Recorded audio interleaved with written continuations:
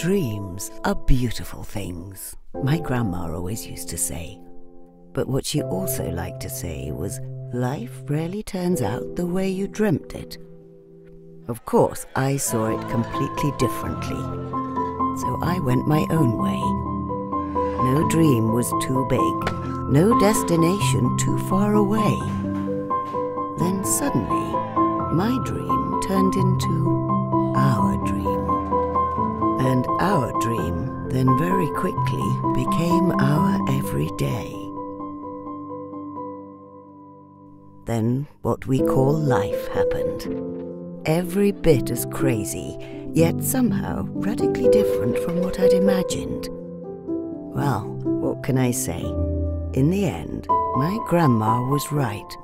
Life truly never does turn out the way you dreamt it.